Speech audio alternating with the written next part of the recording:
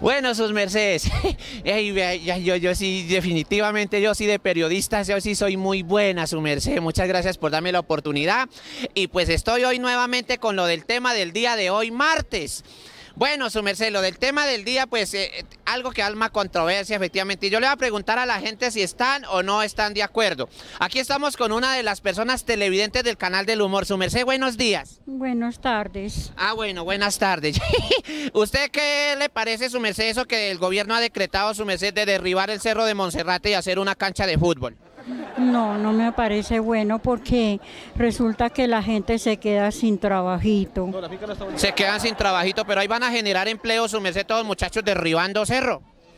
No, por el momento no, eso se demora mucho y hay que considerar a la gente que queda desempleada. Bueno, proteste su merced, tiene usted la oportunidad de protestar para que no derriben el cerro de Monserrate. Sí, yo protesto porque ellos tienen toda la justa razón de que quedan sin trabajo.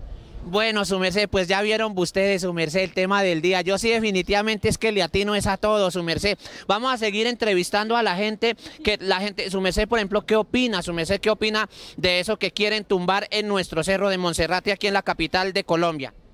Pues la verdad no estoy de acuerdo, porque esto fomenta mucho empleo y todo, y es algo turístico. de la capital.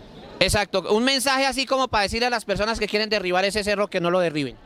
Pues primero que todo que no lo hagan porque eso es parte de, de aquí Bogotá y todo, pues ahí nomás, Bueno, su merced, y dígame una cosa, ¿usted es soltero, casado?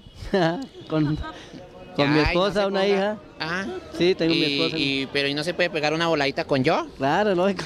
Bueno, entonces corten, corten que yo me voy a volar con este muchacho.